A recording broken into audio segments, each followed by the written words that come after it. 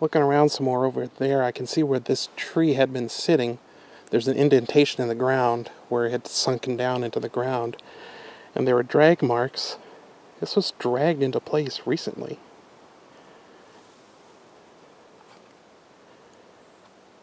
I don't see any sign of who did this.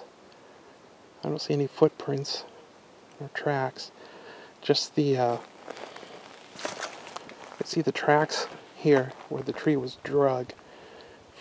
And then over there is where the tree laid down.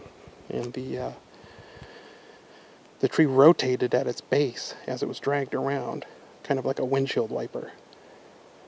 Very odd.